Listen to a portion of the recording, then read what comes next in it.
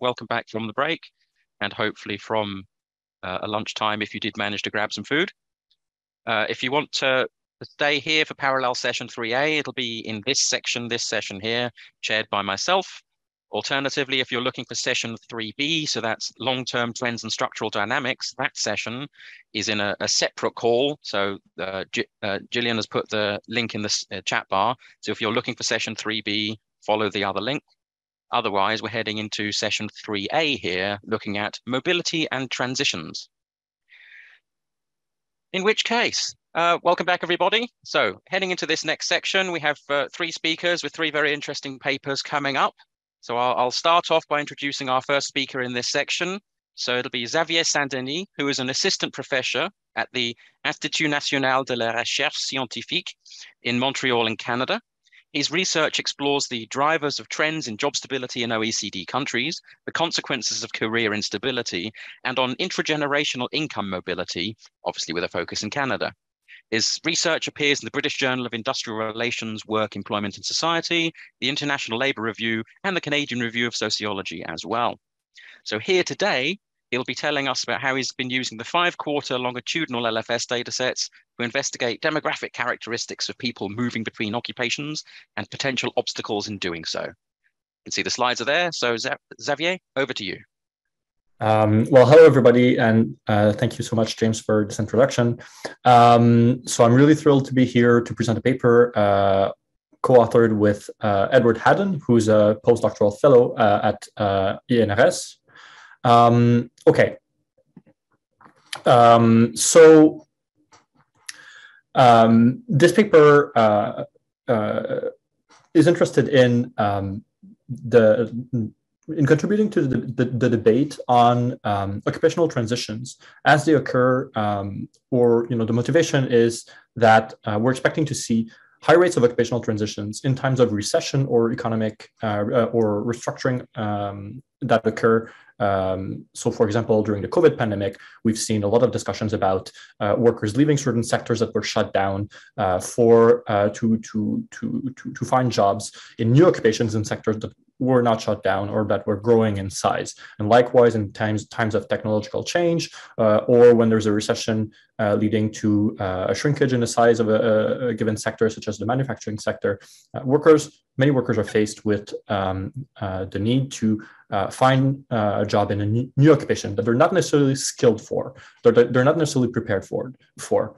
So um, this debate on occupational mobility um, has, um, at least in some policy circles, uh, has focused on uh, the issue of the mismatch between the skills uh, workers have and uh, the skills uh, required for uh, occupations that are looking for workers. so in the Canadian context, we currently have a, pretty intense public policy discussion on how to deal with with this issue and with the issue of worker or skill shortages on the labor market. Um, and so um, large um, uh, publicly funded programs have emerged focusing on retraining, reskilling. Um, and this has led, uh, not just in Canada, uh, the, to the development of some tools, um, uh, uh, of some tools to identify the least uh, costly occupational transition pathways. Um, with, with tools such as one developed by the World Economic Forum, uh, trying to identify um, occupations that are most uh, pairs of occupations that are the most skill similar um, and uh, that have only small differences in wages. Uh, so these occupations would be uh, these pairs of, occupations would be occupations between which it is um, easy to transition uh, because it would require only limited reskilling and uh, would lead to um, uh, would allow workers to, to, to, keep similar wages when they uh, undergo this transition. Um, so the contribution of the paper I'm presenting today, uh, what I'm seeking to do is to try to broaden a little bit that perspective to include other, uh, obstacles other than skills that workers may face uh, when trying to change occupations.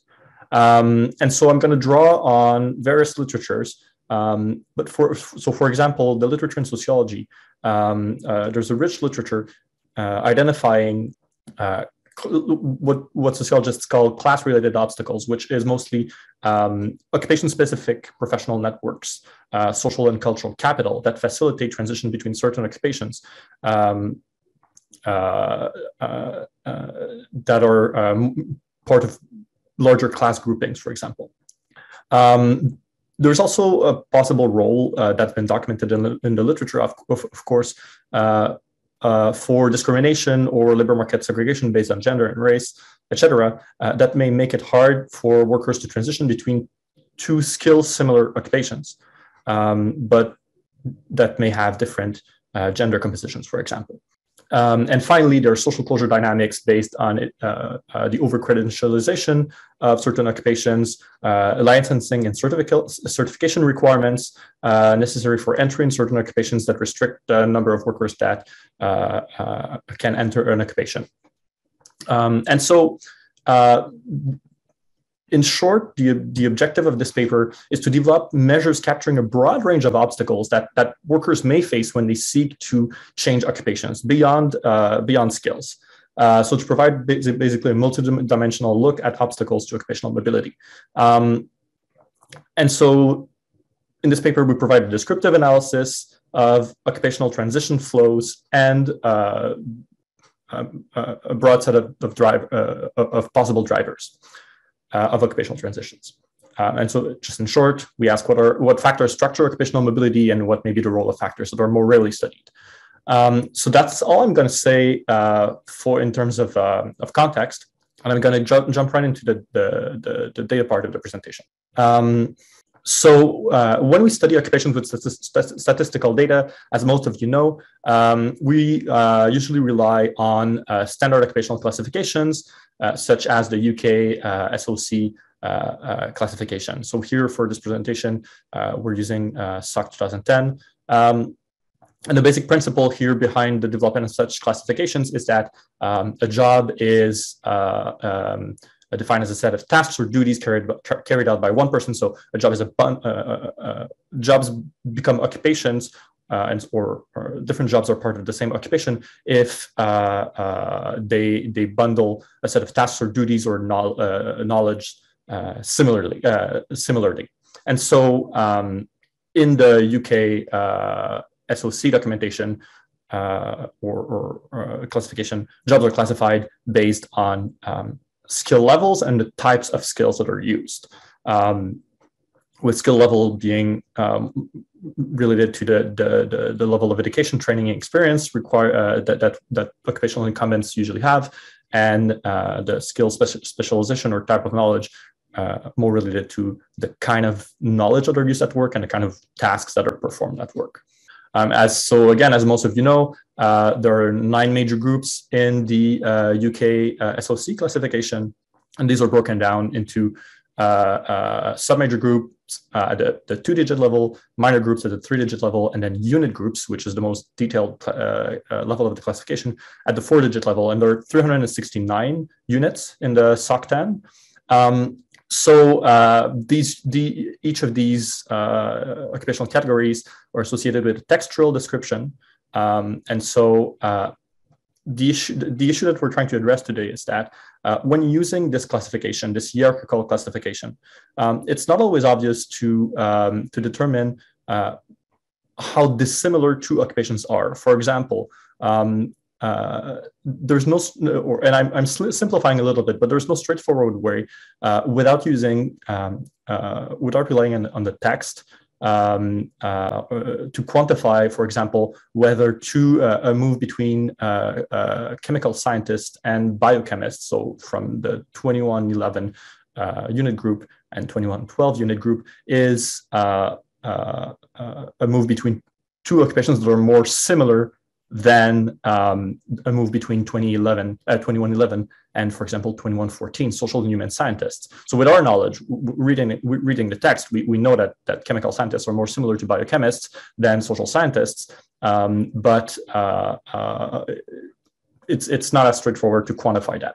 Um, and so what that means is, uh, if we want to think about, um, uh, in this case, in, in this framework, uh, occupations are discrete categories. Um, and uh, when we want to think about a, the, the, how different those occupations are, or the distance between them, um, we have to think about it in a binary way, in or out. So same or different. Uh, and so, for, for example, if uh, a worker was to transition between um, the fourth major group, administrative secretarial occupation, uh, to another occupation in the same major group, we would say that uh, they're transitioning to a similar occupation. But uh, if they're transitioning from the fifth major, major group to the fourth major group, or uh, seventh major group to the, the, the, the fourth major group again, it's hard to say which worker um, uh, uh, uh, transition or which type of transition has the most obstacles involved. Um, in contrast, um, in this paper, we try to adopt a multi-dimensional view of occupations, uh, looking at a broad range of different characteristics that we uh, quantify on continuous scales, um, where, where we would be able to, uh, to, to quantify whether a move from the seventh to the fourth major group uh, spans a uh, or, or, or involves uh, a greater number a greater number of obstacles in a transition from the fifth to the fourth major group, for example. Um, so uh, in order to be to be able to do that, we need uh, we need a few things. Um, so we need uh, first a data source that is longitudinal that captures that measures occupations at two two time points for a representative sample of adults. Um, and uh, so the UK Labour Force Survey and I'll, uh, uh, pr- provides that information. I'll say a little bit more about that in the next slide. But we also need a data set of occupational characteristics to calculate uh, distance indices, so, so, so measures of distance between uh, various occupations uh, for multiple dimensions of occupational skills and composition. and to do so, we, um, we use the O*NET that we map onto the SOC 2010 classification and uh, data from the UK LFS again on uh, occupational composition. So um, again, the UK Labour Force Survey, as you, you, you probably all know, is a representative sa sample of the adult population. It's a large, uh, quite large data set uh, with a lot of information on worker characteristics and their jobs. Um, one feature that we leverage in this paper is that it, it's, uh, its, uh, its sampling design uses rotation groups, which means that every respondent stays in the survey or, or ex is expected to stay in the survey for five quarters, uh, which makes the LFS longitudinal. Um, and so we can observe any occupational change that occurs within this window of five quarters. Now, the O*NET, um, some of you may know this data set.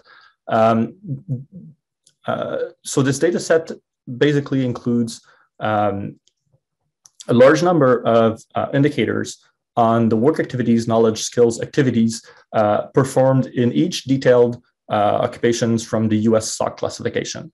Uh, so it's collected from occupational experts and occupational incumbents. And um, uh, uh, the, so the, the, the, part of the data set that we use is the 41 indicators under the work activities or tasks data set. So um, how this data set is created is uh, it's an aggregation of information on hundreds of detailed tasks that are performed uh, by workers in different occupations. They're classified in, as I said, 41 different indicators. Uh, one example is, for example, is uh, you know inspecting equipment, structures, or materials, uh, etc. So it's it's work activities or tasks, but there's also physical tasks uh, as well. Um, and so this is what it looks like. Basically, uh, every indicator has two scales that we multiply to create a single scale for, for, for a given indicator, importance multiplied by level. Um, and as an example, it reveals some similarities between occupations that wouldn't be uh, captured by a hierarchical uh, framework, uh, such as the major, sub-major, sub-major, minor, and unit groups. Uh, so sociologists here uh, estimate quantifiable characteristics of products, events, or information uh, in a similar way or with a similar uh, using a similar level uh, as urologists, boilermakers, etc. So it reveals some similarities, but of course those occupations are different uh, under other dimensions. And so what we're doing with the O*NET is that we're um, conducting a principal component ana component analysis on 41 O*NET work activities indicators um, uh, where we, we basically extract eight principal components and um, develop a single distance measure or calculate a single distance measure based on th these principal components uh, using a uh, uh Euclidean uh, distance. Um, and so what the, this gives us is a skill dissimilarity score between all, all 369 by 369 pairs of occupations uh, in order to, to quantify the, the, the, the, the skill dissimilarity between all possible pair of occupations in a UK SOC. Uh, we do the same with the differences in sociodemographic composition. Um, and so we calculate the proportion of workers with uh, various uh, uh characteristics um, in the um, in the uh, uh, from the UK LFS again, pooling a few cross sections together. So, so share of workers with uh, graduate degrees, share of women, share of racialized workers in each occupations, and then we calculate the absolute value, the difference in those proportions between all possible pairs of occupations again. Uh, and so we estimate the log linear model um, without going too much into de details. Um, the, the, the, dependent variable is the log of the uh, frequency count of um, uh, uh the number of workers who are in a given uh, cell in our data set, which is a data set aggregated at the, the, level of uh, pairs of occupations. And so we know how many workers uh, in uh, uh, each line is a pair of occupations with a number of workers who uh, underwent this transition over five quarters. Um, and so we have a parameter for skill dissimilarity, and we have three parameters for difference in socio- sociodemographic composition. Um, so here are qu very quickly our distributions for the distance measures. Uh, they're all standardized in the model that I'm going to present after, um, and they're not not very correlated. So it's likely that will they, they may have independent effects. Um, so only in a descriptive way, this is the, this is basically the, all, all, all, the transitions that we observe, um, and so the large um, the large points uh, on the, the the the small diagonal are all workers who stayed in um, in the same occupation at time one and time two at this in the same unit group, um, and then uh, dots that are in the same uh, similarly colored squares are workers who changed occupations, uh, changed unit groups, but stayed in the same major group. So we see that a lot of workers um, um, uh, uh, transition between two occupations that are in the same major group. But what we see then in gray is all, all, all kinds, of, kinds, of, kinds of transitions where workers left their major groups. Um, so it seems like it's fairly frequent uh, there are certain locations uh, in the, this occupational transition matrix uh, where uh, tra transitions are, are, are, are, quite likely infrequent. Um, and so basically we want to know if these um, uh, if these transitions are, uh, are, are, driven by um, uh, this, the similarity between uh, uh, those occupations, even if they're not in the same major group, for example. Um, so the estimates of our log linear model um, uh, are presented in this table, and I want to focus on model eight, which includes all of our distance measures plus our, our, our, our big class or uh, occupational major group and macro class, uh, so occupational minor groups, uh, dummies. So these coefficients, when they're below one, it means that uh, an increase in one standard deviation in a distance measure is, is associated with a decrease in the rate of transition between a pair of occupations. Um, and so we see that uh, as the, the, the distance and skill similarity in education share and sex share and ethnicity share increases in all cases, it uh, decreases the rate of transition between, uh, uh, between, between those occupations. So occupations that are more dissimilar along those four dimensions um, uh, have fewer uh, fewer workers transitioning between them. Um, and so this broadly supports our, our, our, our hypothesis that um, uh, there, there's going to be beyond beyond skill dissimilarity, uh, there are other factors uh, that or other obstacles faced by workers who uh, seek to transition between occupations. And and, um, and so I will jump to my concluding slide now. Um, so so just so just uh, restating the point that uh, the factors that structure occupational mobility flows, occupational floors are, are really multiple. Um, and in this paper, there are some important limitations to note, which is that we still take a limited number of dimensions into account. Um, and so we don't really take in, we haven't taken in this version of the paper into account uh, uh, the geographic concentration of occupations, uh, differences in compensation or certification and licensing requirements. There may be other dimensions, and if you have ideas, I'd be interested to hear them. We haven't taken also the, into account the direction of the distance, uh, so uh, move, uh, or the move towards uh, uh, more skill intensive or less skill intensive occupations, or between more feminized or less feminized occupations.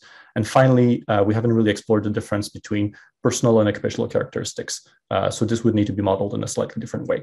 And so just to, to open on a discussion point, um, I think this paper points at um, the need to, to think about uh, a broad range of uh, possibly exclusionary factors uh, that may represent significant obstacles to certain occupational transitions when we uh, think about the development of interventions and policies focused on uh, uh facilitating occupational mobility.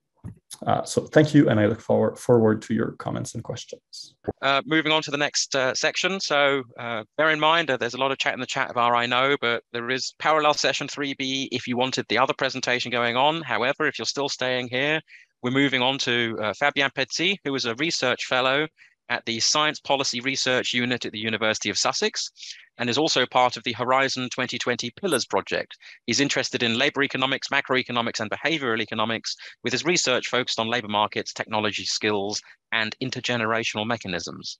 Today, we're going to hear about an investigation into the topic of social mobility and the ability for people to proverbially climb the ladder and develop their careers through middling jobs up towards high paying occupations. So, Fabien, over to you.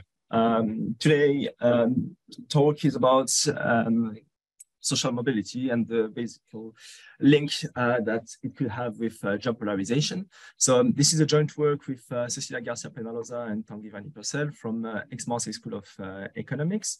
Um, and the question we ask is basically whether individuals can still climb the social ladder as the middling jobs are becoming scarce. Um, and we use uh, British cohort studies to answer this question. So there has been a decline in social mobility over the past decades. Uh, this has been observed for the UK, but also for the US. And therefore, this has strengthened the link uh, between individuals' background and also their socioeconomic outcomes. Uh, so, such as like the occupation that you could get. Uh, the, the second point is that uh, there has been um, a phenomenon that is the job polarization that has been observed. Um, and this phenomenon has been observed in many um, uh, developed OECD developed countries. Um, so basically the job polarization process is the idea that if you split occupations into three groups, the low paying occupations, the middling and the high paying occupations, the employment uh, creation is done at the extreme of the distribution. And so those jobs in the middle, they tend to disappear. The intuition behind that is that those jobs are routine jobs uh, and therefore they are automatized and they are fewer jobs uh, available here. And so if you used to be in a world where you can start at the bottom and you can climb the, the social ladder to end up in high paying occupation, but those jobs are disappearing in the middle, then you might get stuck at the bottom. And so that is basically the kind of question that we answer um, in, this, uh, this paper. So to answer to this question, we use those two mature British cohort studies. So one is born in 58, this is the NCDS, one in born in 70. This is the British uh, cohort study, the BCS. And so we exploit the fact that one cohort, um, the, the younger one, uh, entered on the labor market, which was much more polarized compared to the older cohort. So we proceed in two steps. So um, today I will mostly focus on the second one, which is the, the one that we, we improved recently. Um, and I will just go through the first one. So our strategy goes this way. So we disentangle first the changes in social mobility that are due to what we call the intragenerational component. So it's the job to job transition. So basically what Xavier was uh, presenting uh, in the previous presentation. So all people move from one occupation to the other, and we will focus on the first period occupation. So when they are young and their mature occupation when they are 42, for instance. And so we will focus on this mechanism, and we will have another component that will be the intergenerational component. So the role of family background, for instance, the role of parental income in explaining the transition and the social mobility of their children. So we'll, we'll play with those two components. Then we will also go at the regional level, and when we, we will estimate the uh, effect of polarization on the role of parental income.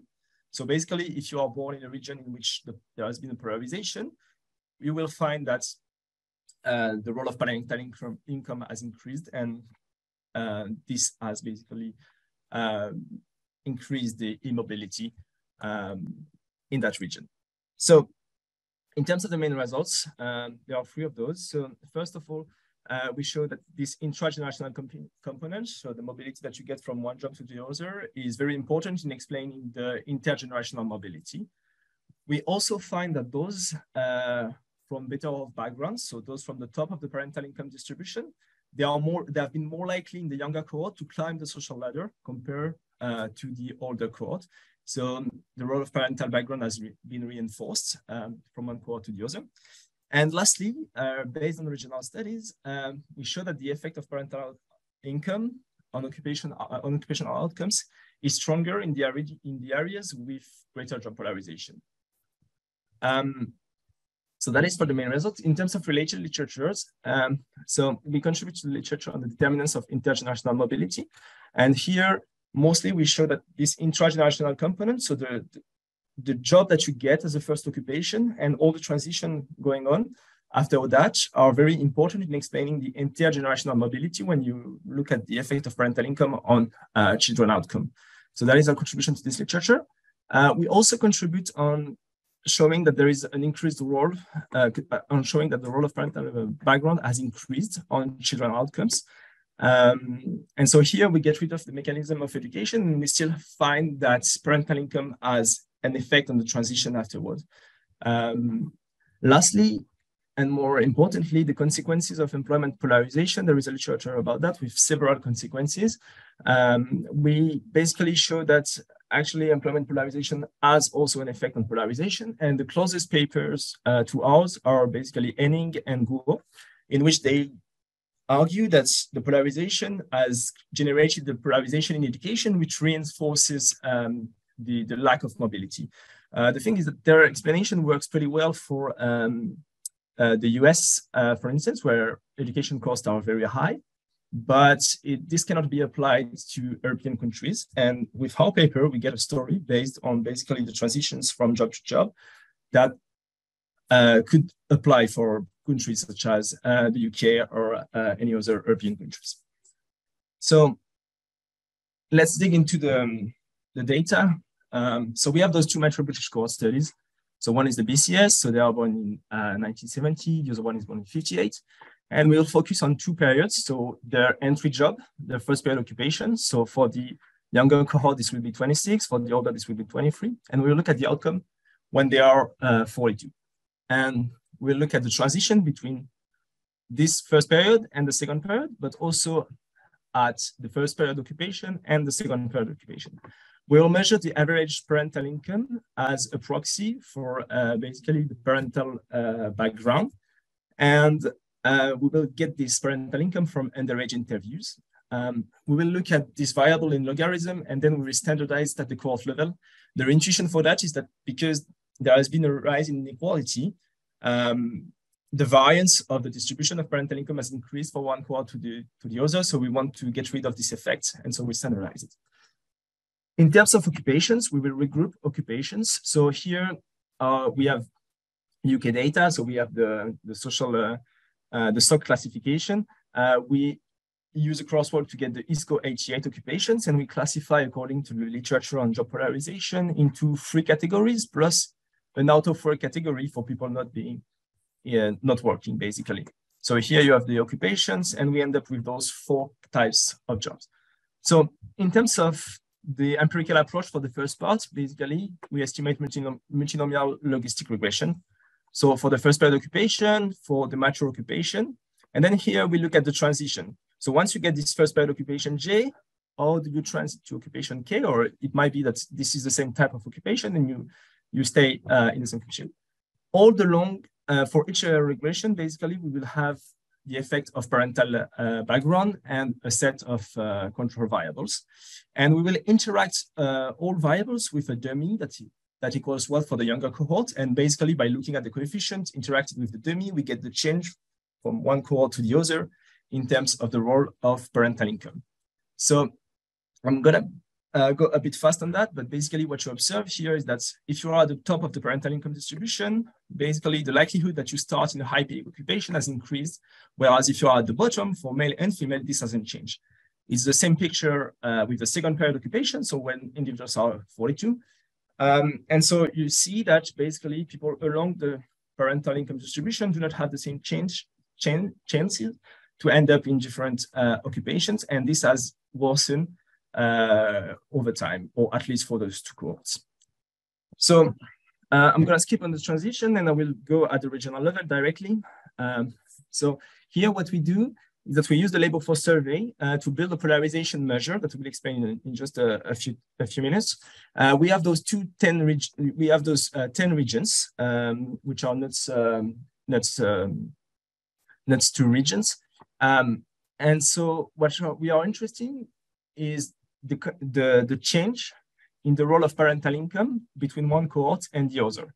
So this will be measured by the coefficients beta here. So this is for the younger cohort. This is for the uh, older cohort. And we'll take the difference in the role of parental background uh, to explain the occupation K uh, at the age of 42.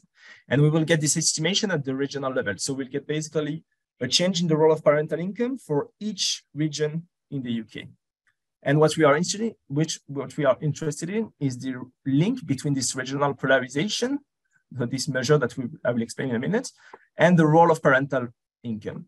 And so we will run thereafter this regression on which we try to look at the effect of this change in polarization on uh, the change in the role of parental background.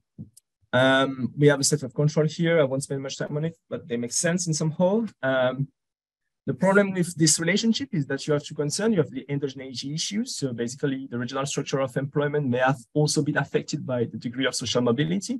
And you have an omitted variable bias that is possible. So other factors may have affected both polarization and social mobility.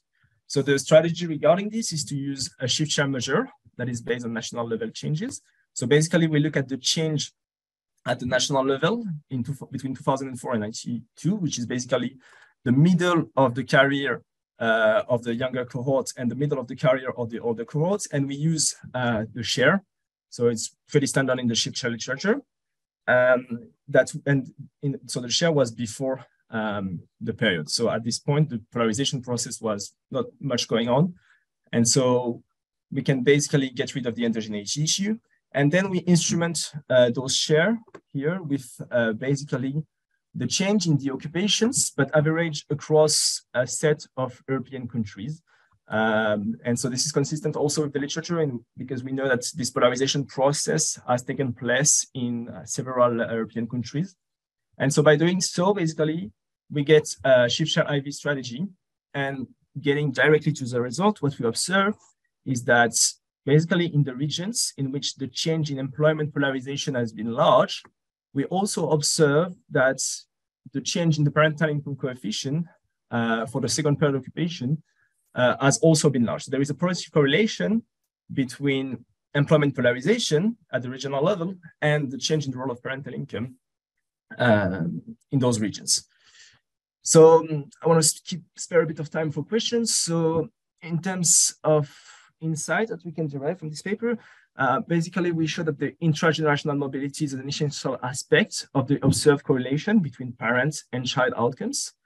Um, in, we also show that basically those from better off backgrounds, so at the top of the parental income distribution, they have become more likely to climb the job ladder. And those who are at the bottom, they are more likely to get stuck at the bottom of the, the, the, the income distribution because they will they are more likely to get jobs uh, which are low paid. Um, and lastly, the, at the regional level, um, basically we show that areas in which uh, the polarization was important, was greater, uh, are also the, the regions in which the role of parental income has played, uh, has become more important. So thank you for your attention. Uh, if you have any question, I would be more than happy to, uh, to answer. Um, and you can always reach me by uh, my email, um, and you can find the, the draft of the paper on my website. Thank you for your attention very much, Fabien. Uh, there's nothing in the Q&A box at the moment, so if anyone has any questions, please put them in. Uh, I'll ask a question myself, if that's all right. So when we're thinking about the parental income, uh, how exactly is, is that defined? Is that the main earner or the total of a couple or the whole household income? How about is that you've broken down into just the single variable? Yes, good question, James. Thank you. Um, so so what we do here is um, similar to what is done in the literature regarding uh, parental income uh, when they look at uh, income or social mobility. So basically the papers of Blanden, Macmillan, and co-authors. Um, so here uh, we look at the parental income in underage interviews and we use um, the household income uh, as a measure. Um, so for instance, in the case of the, um, the BCS, this income is, is available at uh, year 10 and 16. So we take basically the average. Uh, and here uh, for the, the older cohort, unfortunately, it's only available at the age of 16. Of course, we, we, we run several robustness checks uh, to show that this is not what is driving the, the effect. And that's whole household income. So it, it might be factoring in, say, a grandparent who happened to live there or an, an older child as part of the family as well. Um, sorry, what? what? So that the parental income there you're saying is the household income. So yes. if there are other workers in the household beyond just the parent or two parents, that might be factored into that total as well. Um, that's a good point, indeed. Um, so here, yes, here we, we, we do not have this.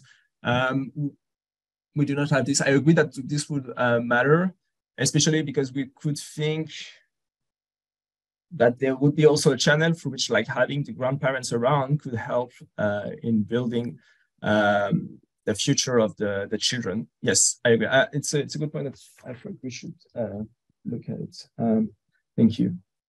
Sorry, I've instigated more work, but hopefully a, useful thought. Uh, we have another question here as well from Christina. So, uh, could patterns you found in the second cohort at age 42 have been influenced by the economic crisis that was happening at the time? Yes.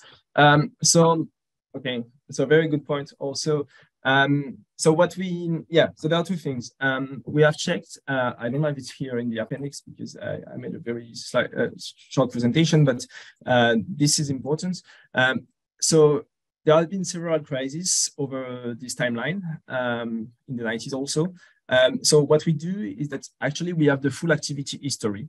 Uh, the reason why we pick up those uh, specific years is because there are interviews at those years, and therefore uh, the occupations that are reported that are reported during those uh, interviews are more precise. But if we want, we can basically pick any year in between, uh, but this won't be as accurate. So what we have done is that we have checked basically with respect to the business cycles um, and and the crisis if this was not driven by all the crises that happen over all those um, all, this timeline, and we find that basically uh, the results are pretty robust to this uh, 2008 crisis. Although um, this might um, also be part of the story, but there is something that is more about long term. But thank you for your question, Christina. I don't think there are any other questions at the moment, in which case uh, thank you very much, Fabien. We're almost back on time. Fantastic. So I appreciate the presentation. Thank you very much indeed. Uh, in which case, we'll head on to the third of our three presentations in this particular parallel session. So moving over to uh, Marie. Marie Horton is a senior research analyst at Engineering UK, which is a non-profit organization working with the engineering community to increase the knowledge and interest uh, in engineering careers among young people. Recent reports by Engineering UK have published uh, looking at uh, options in uh, opinions in, on engineering, as well as educational pathways into engineering and the workforce itself, which have been used to inform educational providers, employers, and policymakers. Specifically today, she'll be presenting her review of the representation of female workers in the engineering workforce and the effects of uh, recent efforts to attract more female workers into the, the profession. So Marie, hopefully you're there, ready to go. Yeah, um, can you see my slides okay? Yep, slides and we can hear you. Go for it, Great. thank you. Okay, so um, yeah, as James said, I'm going to talk through some work we published in the last year on the trends in the numbers and percentages of women in the engineering workforce. So to start a bit about um, Engineering UK. Um, so we're a not, not-for-profit organisation and we work in partnership with the engineering community. Um, we do this with our programmes such as Energy Quest, Robotics Challenge and the Big Bang Fair, and they're designed to excite young people about the variety and opportunity presented by a career in modern engineering. We try to give them the chance to meet people already working as engineers. Um, so I work in the research team, and as well as analysing survey data gathered from young people, part of my role is to explore the data on the engineering workforce. And to do this, we use the labour force survey. And we explore all different insights that we can gain.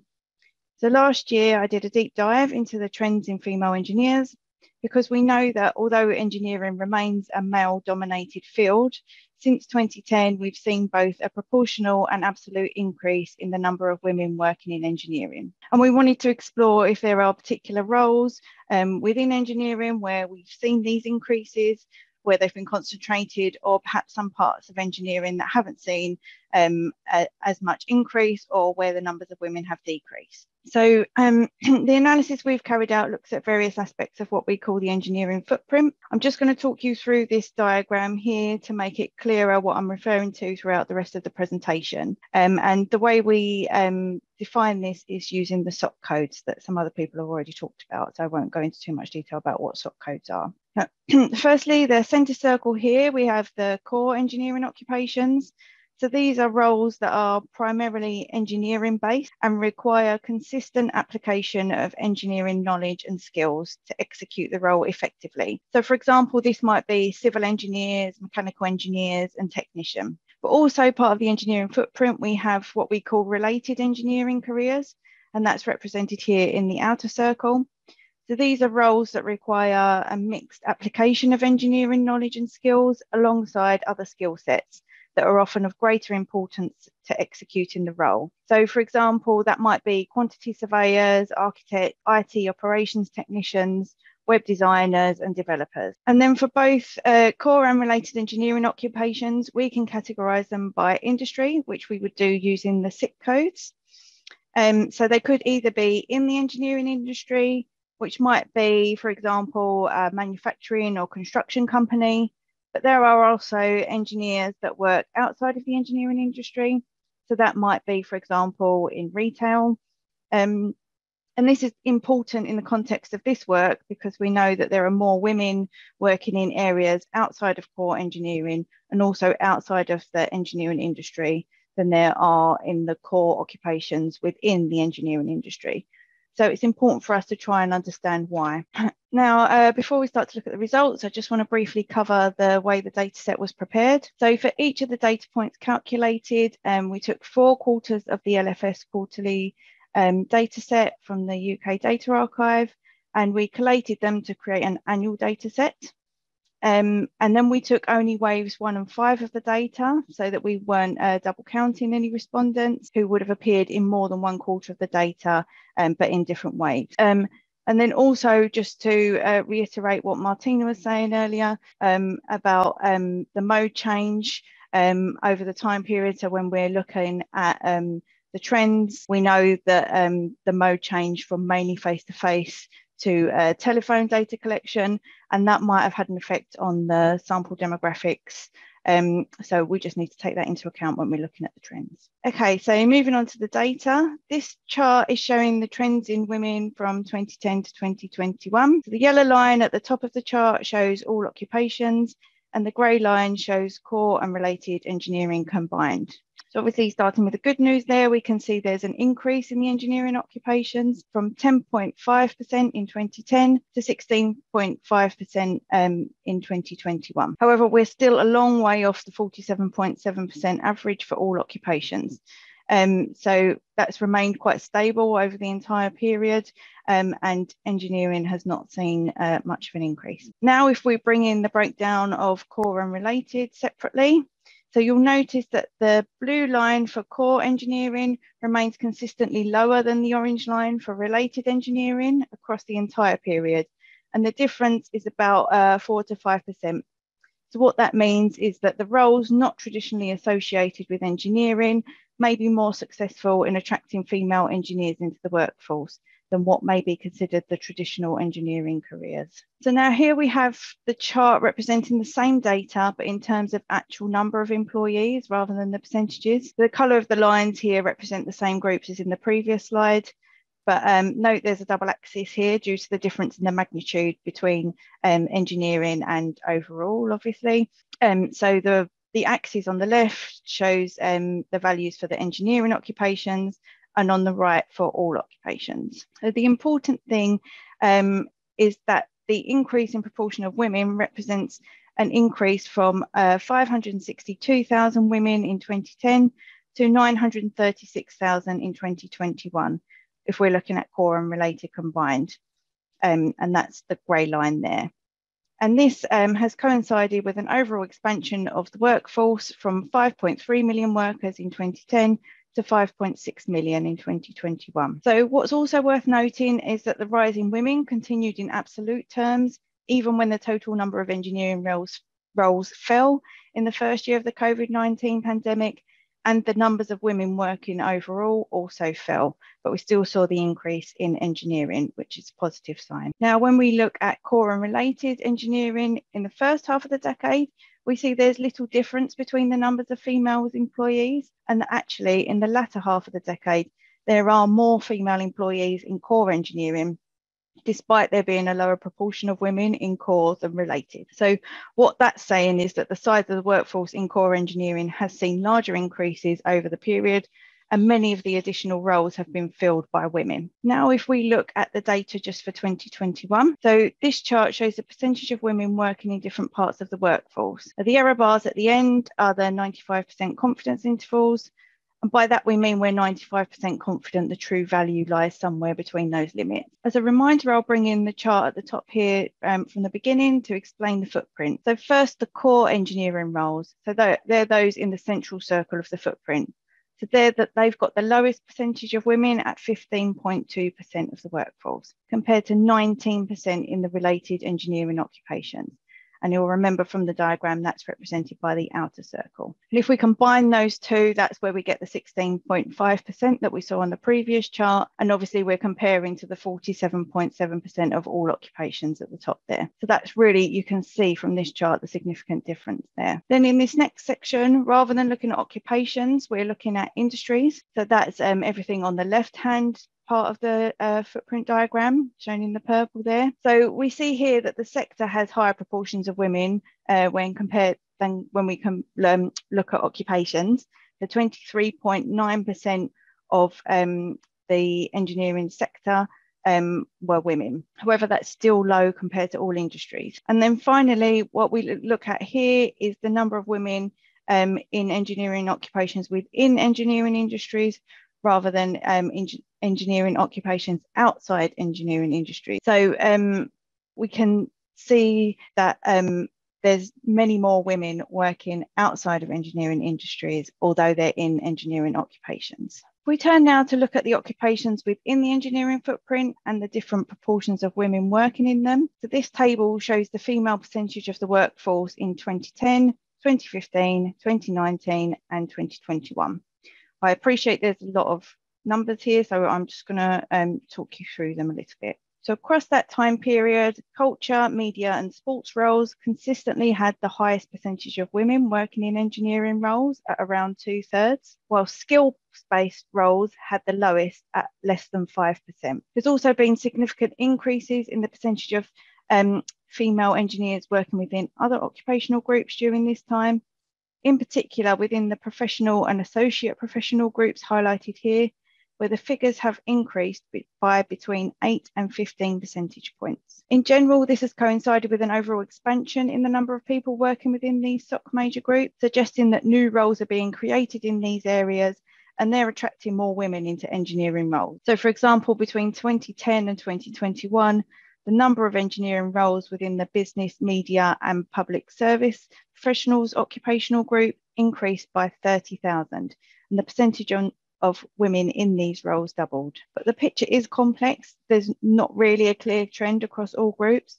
While we saw an increase in the number of engineering roles at the business and public service associate professional group, the proportion who are women decreased from 25.2% in 2010 to 16.9% in 2021. Conversely, despite the increase in overall numbers of engineering roles that are classed as process, plant, and machine operatives, there's been an increase in the percentage of women in this group from 17.7% to 20.7%. so now if we look at occupations in more detail, starting with those that saw the increases.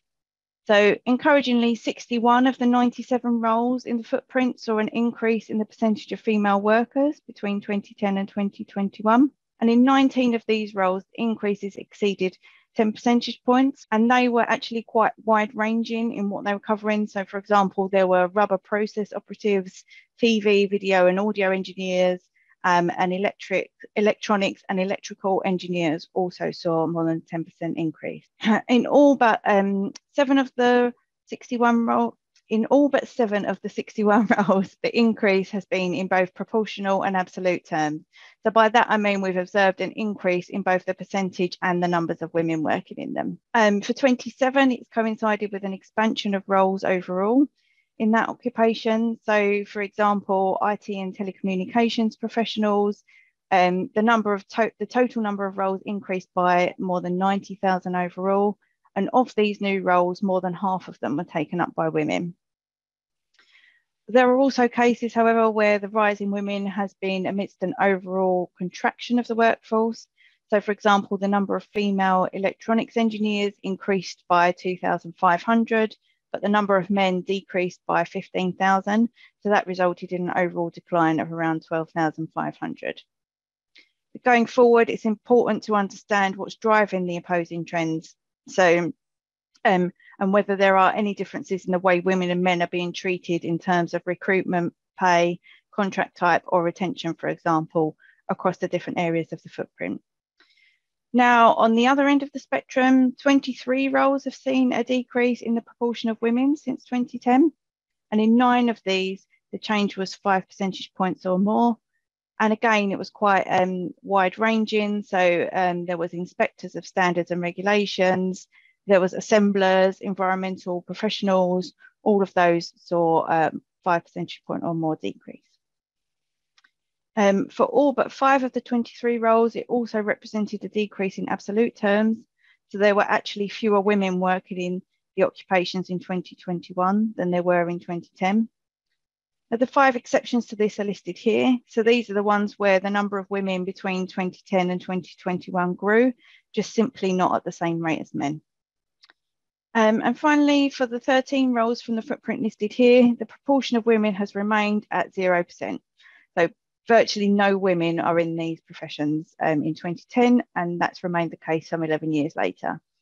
It's worth noting that for the majority of these roles, the overall size of the workforce has shrunk over the last decade, but still to have no women working them in them is a reminder of the large gender gap in engineering. Um, so to summarise, since 2010, we've seen a large rise in the number of women across the majority of engineering roles and across both engineering and non-engineering industries. And this is welcome news. We encourage the engineering community to continue to celebrate and promote examples of women working in engineering roles and the sector, um, especially to the girls who could be tomorrow's engineers so that we can continue to increase diversity. To do this, engineering employers need to understand their own workforce, focus on understanding practices that extend recruitment and retention to underrepresented groups. Um, they need to identify and promote practices that help to increase the appeal, recruitment, retention, and progression of women in engineering. And we will continue to research what works in terms of encouraging more girls into engineering and continue to monitor um, what's going on in the workforce so that we can see what progress is being made. That's it from me. Great. Thank you very much indeed, Marie. Uh, very informative.